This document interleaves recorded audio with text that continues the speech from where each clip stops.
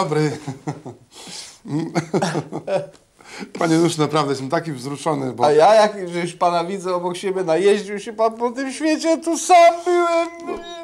Panie Nusz, naprawdę, no proszę tak nie mówić, bo ja jestem bardzo człowiekiem takim czułym i, Tak. i widzę na łzy, a szczególnie męskie. Dzień dobry. Proszę dobry. państwa, dzisiaj dyżurny satyryk kraju. Witam. Wróciłem z Grecji, z ciepłych krajów. Tak, tak. Widać, że opalony jestem? Strasznie opalony jest, Tak? pan, napalony strasznie.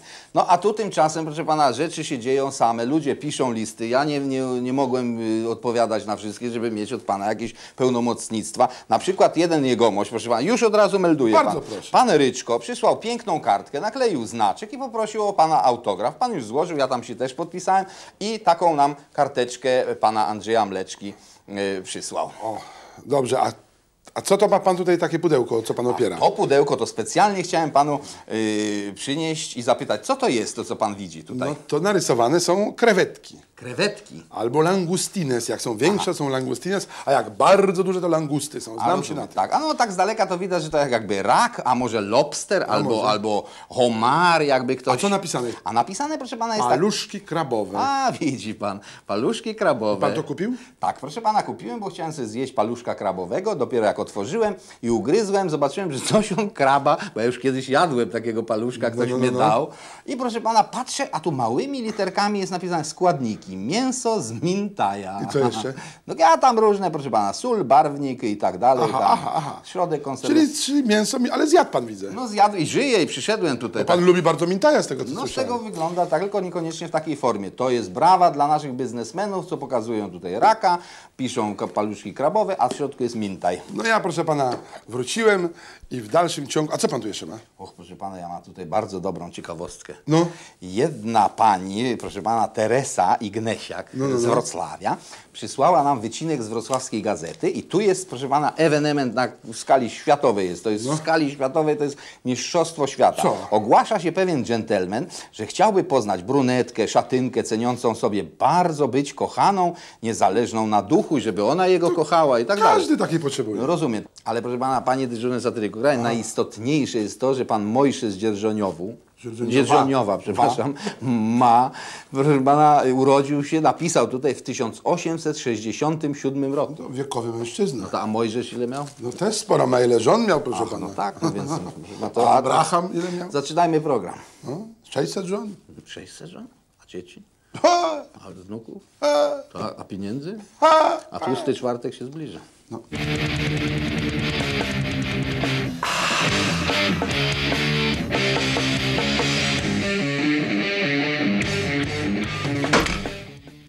Drodzy Państwo, dzisiaj prawdziwa sensacja. Przedstawiam Państwu nieomylnego jasnowidza, wielkiego wizjonera i wróżbitę, pana Antona Brodatego. Panie Antonie Brodaty, obiecał Pan naszym telewidzom przedstawić prognozy na 1997 rok dla czołowych polityków koalicji rządzącej. Tak. Chciałbym może zacząć od fusów pana prezydenta Kwaśniewskiego. Ach, to są fusy Pana Prezydenta. Świetny rok przed panem prezydentem, Tak. szczególnie w mediach. No, jak panu wiadomo, pan prezydent Kwaśniewski rosłym mężczyzną nie jest. No niestety nie. Dlatego droga od żołądka do głowy jest raczej Krótka. krótka. Tak. No cóż, w tym roku w związku z tym pan prezydent za każdym razem będzie zakanszał. Oj, to pięknie. I już nie będzie takiej możliwości, że kiedykolwiek panu prezydentowi pomylą się drzwi samochodu z drzwiami od bagażnika. Oj, to wspaniała perspektywa Wspaniała. dla Pana Prezydenta. A te fusy to czyje są, przepraszam? E, to są fusy pana marszałka Zycha. Oj, widzę takie godne. Godne fusy, świetny rok przed panem marszałkiem. Tak. No wprawdzie pan marszałek, no tradycja tradycją, Tak. ojcowizna ojcowizną, no ale jednak w tym roku pan marszałek przestanie donaszać spodnie po swoim ojcu, który Aha. był nieco jednak niższy od pana marszałka. No tak, a przecież pan marszałek Zych przystojnym mężczyzną jest i powiem panu, panie Anton, że takie sfilcowane spodnie to jednak ujmowały mu trochę godności. Oczywiście, w związku z tym w tym roku już ze składek PSL-u pan marszałek nabędzie sobie nowe spodnie. Pięknie, a Piękna tamte wróżba. fusy? A to są fusy pana premiera Cimoszewicza O! i jego rządu. No, Rządu. Wspaniały rok, fantastyczny rok Tak. dla, dla pana premiera. No uda się nareszcie panu premierowi wmówić społeczeństwu, że rząd cokolwiek sensownego robi. To pięknie. A to wszystko za sprawą przebudowy centrum. Tak. To będzie wspaniała, olbrzymia operacja. A z tego co wiem, to operować będzie osobiście premier Cimoszewicz. Tak, a znieczulać będzie Miller. Dziękuję panu, panie Anton. Drodzy państwo, za tydzień porozmawiamy z panem Antonem o politykach opozycji. Dzisiaj w barku lekarz, pan doktor Nosarzewski, nasz sąsiad. Witam serdecznie, panie doktorze. Witam, panie TR Ozda, ale nie będziemy mówić na tematy strajku lekarskiego. Czyli mówimy jak doktor z doktorem dzisiaj. Tak jest. No, muszę powiedzieć, że żałuję, bo temat dla mnie znakomity. Strajk lekarzy, szczególnie strajk włoski. Pacjenci zadowoleni, bo dokładnie są przebadani. Myśmy nawet marzyli, żeby wszyscy w Polsce zaczęli tak strajkować. To by wszystko i drogi byłyby, no ale nie ma. O czym rozmawiamy, panie doktorze? Spotkało nas nieszczęście. 16 lipca zeszłego roku żonę wyciągnięto z samochodu i poturbowano. Ojej. Ukradziono samochód, który odjechał niestety łącznie z kluczykami, e, łącznie z dokumentami w siną dal. Było to wieczorem, zgłosiliśmy natychmiast na policję, ale nie chciano od nas absolutnie nazwiska ani numeru nadwozia, numeru silnika. Rozumiem. Jedynie numer rejestracyjny i kolor samochodu. Rozumiem, ale potem prokuratura wszczęła śledztwo. Wszczęła śledztwo, oczywiście. Po trzech miesiącach dostaliśmy orzeczenie, że e, śledztwo jest umorzone. Może ja mogę E, przeczytać? kradzież Jest szczególnie zuch... kradzieży w sposób szczególnie zuchwały samochodu marki Opel Vectra i tak dalej. No rzeczywiście, na szkodę pani małżonki. Tak. Tak. powiedziała policja, że szczególnie zuchwała. To jak zakład PZU się dowiedział, to chyba państwu natychmiast wypłacił odszkodowanie.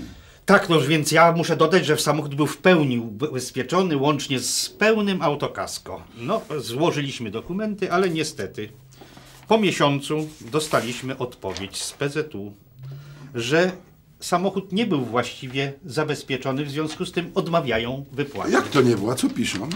Aha, y, pod warunkiem zabezpieczenia z należytą starannością poza pojazdem kluczyków i dokumentów. A pana małżonka miała kluczyki w środku. No ona niestety jechała. No to jak, jedzie samochodem i kluczyki ma w środku? No, ja nie wyobrażam sobie, jak można inaczej. No ale PZU chyba sobie wyobraża, no bo No, mają śledczych, którzy widocznie przeprowadzają dochodzenia.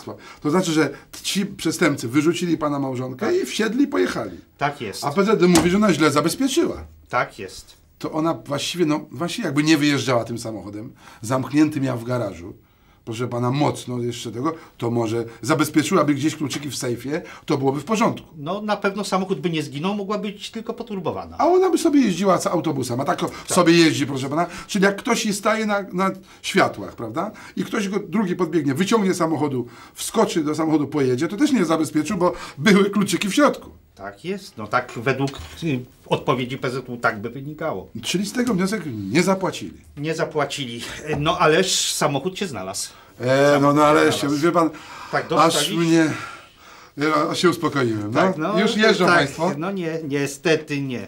Dostaliśmy zawiadomienie z komendy policji, że samochód jest do odebrania e, na Węgrzech, niedaleko granicy ukraińskiej, w mieście. Fe- Właśnie Rewago jakieś tam na tak, pewno. tak. I taka ulica jest, i że w godzinach biurowych można ten samochód odebrać, przywożąc ze sobą oryginalny dowód rejestracyjny, przetłumaczony na język węgierski. A ma pan taki dowód na angielski Nie, nie mam, nie mam, nie mam, do, w ogóle nie mam dowodu, ponieważ samochód trzeba było wyrejestrować w momencie, kiedy umorzono postępowanie o kradzieży. Aha, czyli pan nie ma Nie dowodu, mam nie, ma pan papieru. A jakie on ma numery ten a samochód? nie właśnie o to chodzi, że nie znamy na jakie numery został przebity silnik, jakie nowe są numery, nie wiemy z jakimi numerami rejestracyjnymi jechał. E, Poradzono nam, że owszem, możemy z Wydziału Komunikacji wziąć numery takie zastępcze, próbne, łącznie z dowodem rejestracyjnym, ale jest to tylko ważne na terenie Polski. Rozumiem, czyli z tej granicy ukraińsko-węgierskiej to musiałby pan jakoś do polskiej granicy to dowieść. No, myślę, że przemycić. No skoro ci przestępcy jakoś z naszej granicy dowieźli na tamtą, no teraz może pan z powrotem... No nie wiem, tak chyba myślą ci państwo, którzy panu wysyłali ten, jest- ten oto papier. Tak, tak podano mi na komendzie, ten papier otrzymałem w komendzie rejonowej policji. Nie wiem, jakie numery ma ten samochód w tej chwili. Jakie są numery te, które zostały przebite. Zresztą nie mam nawet tej książki y, rejestracyjnej. Może samochód został przemalowany, więc tylko ukraść go stamtąd i przemycić do Polski. Aha. Ale Czyli człowiek, żeby mieć swój samochód, który ma ubezpieczony oczywiście w świetnej firmie, musi go jeszcze raz ukraść z tego wniosek. no, mam nadzieję, że PZU stanie na wysokości zadania i w rezultacie ułatwi mi i y, załatwi tą sprawę do końca. Bo złodzieje jeździli dłużej od pana tym samochodem. Znacznie dłużej. Czyli pan chce mieć po prostu albo pieniądze, albo samochód. Tak.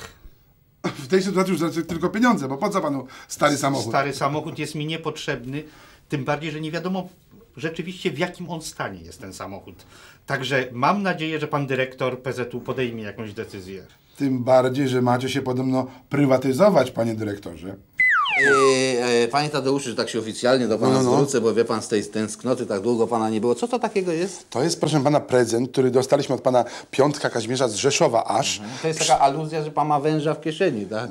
Nie, proszę pana, to jest metal y, kolorowy. Rozumiem, I taka- on, pan y, Kazimierz, tak dobrze mówię, Kazimierz, ma taki projekt, że państwo do nas przysyłali, ja może lepiej nie przysyłajcie, ale on ma taki projekt.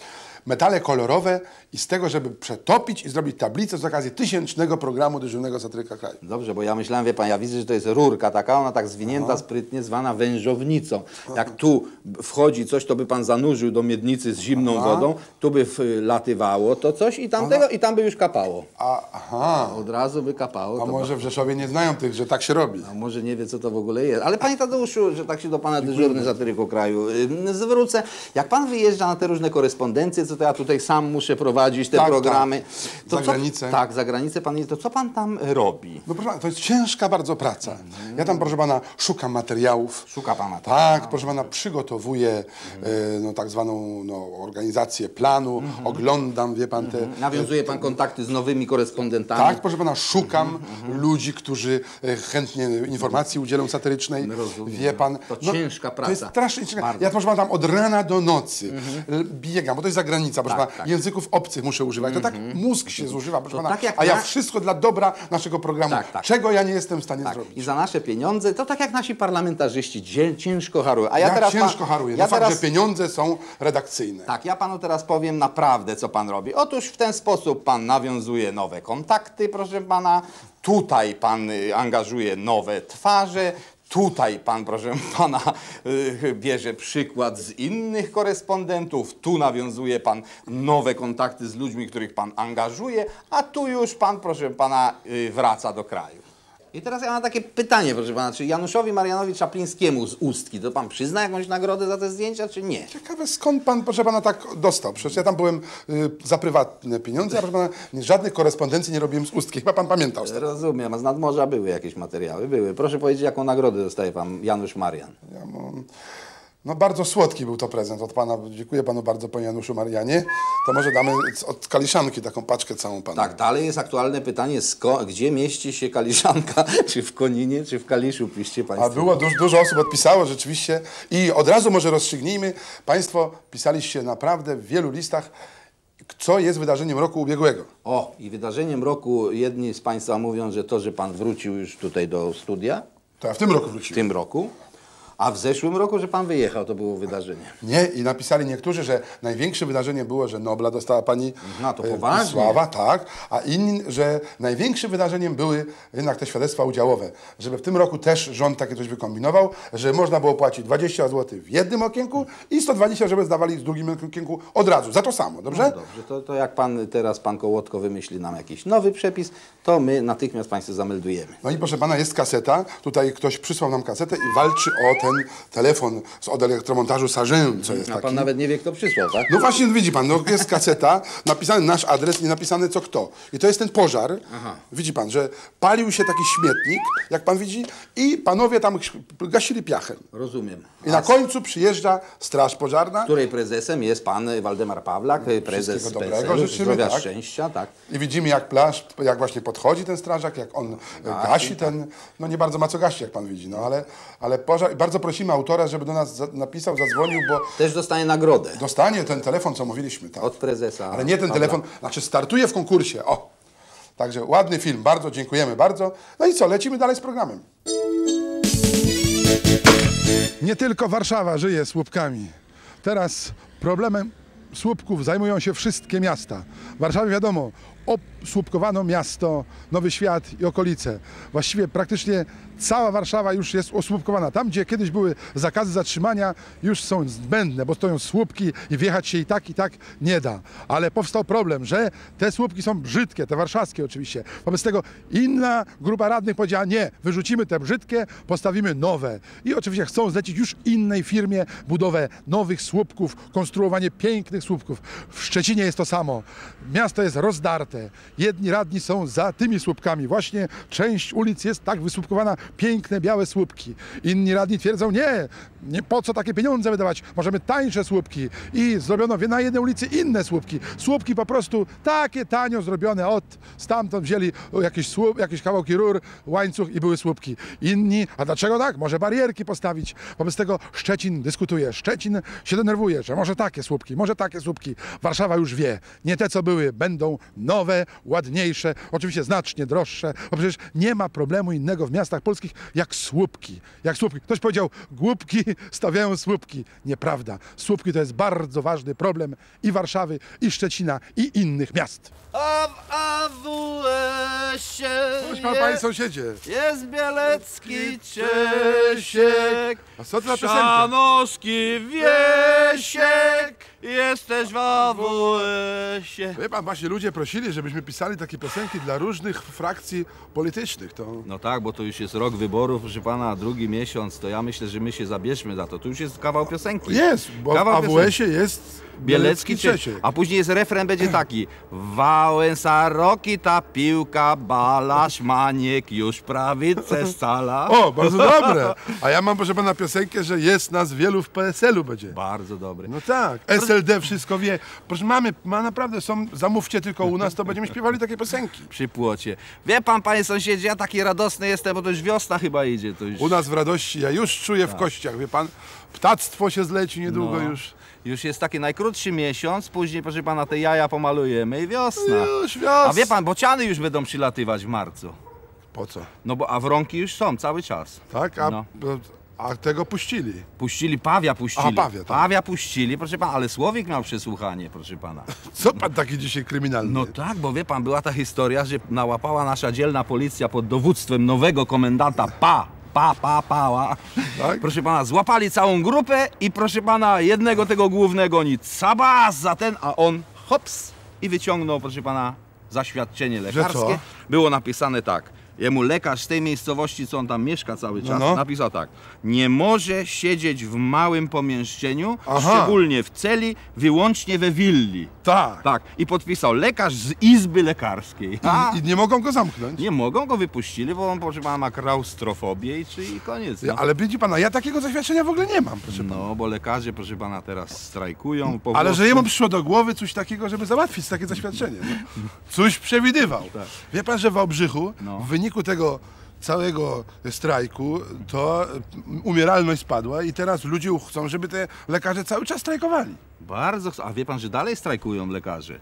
Oni, proszę pana, teraz dostali ustawę, że mają tym kobietom, co mają już sześcioro dzieci, a ten mąż jeszcze tam przez przypadek zrobił to dziecko i wyjechał, że ona może pójść do szpitala, powiedzieć abort, a lekarze mówią nie.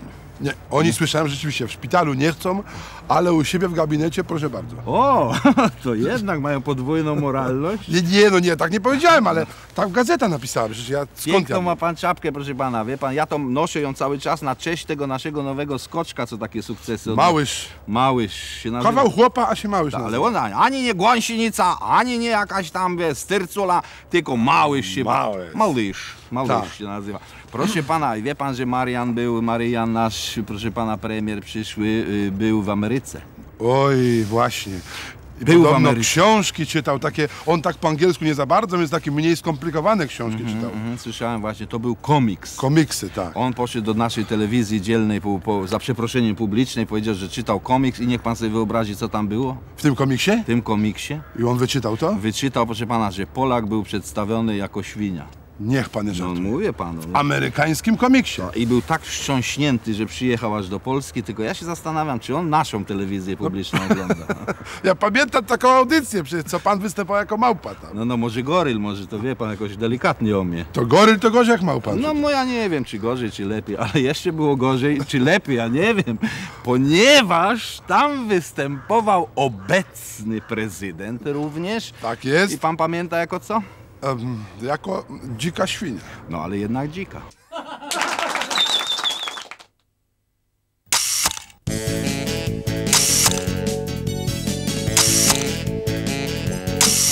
Witam w naszym konkursie Gosia! fotograficznym. A gdzie, gdzie jest mleko?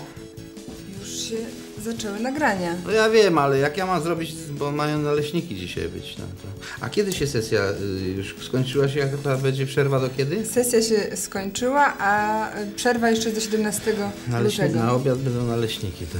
Narzeczony już pojechał? Idziemy. Ale jak, jak, pa, jak, pani, jak pani wyjedzie, to ja mam podlać kwiaty i co? Psa wyprowadzić na, s- na s- kota? Papugę nakarmić i rybki. Aha, a dobrze. A co to dzisiaj będzie ciekawego? E, To jest zdjęcie pod tytułem Telewizja. Je, jego autorem jest pan Józef Kula i otrzymuje on od nas nagrodę. Są nią niezawodne drzwi antywłamaniowe ufundowane przez producenta firmę Gerda. Pan Adam Reps ze Świdnika za zdjęcie pod tytułem Lepsze, bo polskie otrzymuje nagrodę w postaci lodówki samochodowej ufundowanej przez toruńskie piwnice win Winpol. Autor zdjęcia, mały czy duży w wojsku służy, pan Paweł Janik, otrzymuje nagrodę w postaci aparatu telefonicznego ufundowanego przez producenta sprzętu telefonicznego i dystrybutora telefonów komórkowych Sarzę, firmę Veris. Państwo Fras za zdjęcie pod tytułem Nowe tanie meble na wagę otrzymują nagrodę w postaci najwyższej jakości obuwia ufundowanego przez producenta firmę CSZ Buty z Nowego Targu. Jak to dziecinko, e, pani Małgosiu? Czy to całe państwo dostaje po jednym bucie, czy jak to całe? Nie, ci Państwo przysłali razem to zdjęcie, więc im razem przydzieliłam, ale jedną parę i mogą się podzielić jak chcą. Aha, pani chodzi w piątek, a pan do kościoła e, w przykład. tych samych, w tych samych butach. Droga, a ja, te dwa jajka się daje, do mleka się najpierw jajka wbija, a później się mąkę, tak? Tak, i Kręci. wody trochę. Wody też trochę, tak. Tak. I później taką ci tego, tego I na patelnię. Dobra, naleśniki będą dzisiaj, może z serem. E, proszę Państwa, jest jeszcze jedna informacja. Jeżeli Państwo przysyłają takie fotografie, prawda, Pani Małgosiu? Tak, Państwo w ogóle się pytają, jakie są zasady, bo my nigdy nie podaliśmy zasad konkursu, więc teraz je podaję. Po pierwsze, trzeba napisać z tyłu tytuł zdjęcia, autora i jego adres. Po drugie, jeżeli Państwo chcą te zdjęcia odzyskać, to prosimy przysłać równocześnie ze zdjęciem kopertę zwrotną. A po trzecie, y, mogą być to zdjęcia zarówno kolorowe, czarno-białe, tylko żeby były czytelne I, śmieszne, przede i śmie przypominam o tej kopercie, śmieszne mają być zdjęcia, no ludzie, a jeżeli wszyscy Państwo przyślą teraz listy i kartki pocztowe, I zdjęcia i również. zdjęcia i takie korespondencje nawet przez internet, to ja już to będę wydrukowywał i do tej sterty listu będę dorzucał i Pani Małgosia losować będzie nie telewizor, nie telewizor teraz, tylko cały zestaw. satelitarny ufundowany przez firmę OTF Poland z Tarnowskich Gór. Yy, Panie Tadeuszu, drogi dyżurny satyryku kraju, dostaliśmy pocztę elektroniczną. To wie pan, specjalistą od poczty elektronicznej w naszym kraju, w takim ogólnym pojęciu jest prezes Straży Pożarnej. Dlaczego? Prezes PSL. No bo tak o nim, że on taki jest miłośnik poczty elektronicznej, bo nakupował jak był e, premierem, proszę pana, już to był ostatni człowiek, który kupił y, komputery z, z procesorem 486. Już nigdzie nie można było sprzedać, to sprzedali to wszystko do Polski. On taki specjalista jest od e-maili No i poczty. I tu e-mail my podajemy i przyszły dla pana pozdrowienia od Mietka Trzcińskiego. Mietku. Pan y, mówi, że ja panią Małgosię coś tam za bardzo molestuję, wie pan. Tak? Tak, No ja napisał. też na- tak uważam. Wręcz napisał, proszę pana, ja bym panu tych króli nie 3, a 33 dał za tę robotę. Panie Mietku. To niech pan dołoży 30, ja chętnie będę pośredniczył. Widzi pan węża w kieszeni jakiego ma. A drugi, proszę pana, przyszedł y, taki e-mail, Rafał Kokorzycki. Czy doszła kaseta z Torunia? Doszła, doszła. No i co tak dalej pan, proszę No pana? ja już dziękuję państwu bardzo, ja już lecę. Jak to pan leci? No ja już do Niemiec dzisiaj. No czy pan zwariuje? Ja znów tu sam mam zostać? No nie, proszę pana, jutro jestem w, Ryk, w Recklinghausen, proszę pana, potem w, w, w Duisburgu będę we wtorek, proszę pana, a jak? W Bielefeld w piątek, a To znane miejscowości. w Hanowerze w sobotę. A Hanower to już jest znane. A dzisiaj o 18 występuję w Barben, proszę pana, w Wuppertalu A dzisiaj. to w Wuppertale, pan, ja to sam zostanę, proszę państwa. Bardzo serdecznie państwa żegnam, a pan Tadeusz niech jedzie do Wuppertala.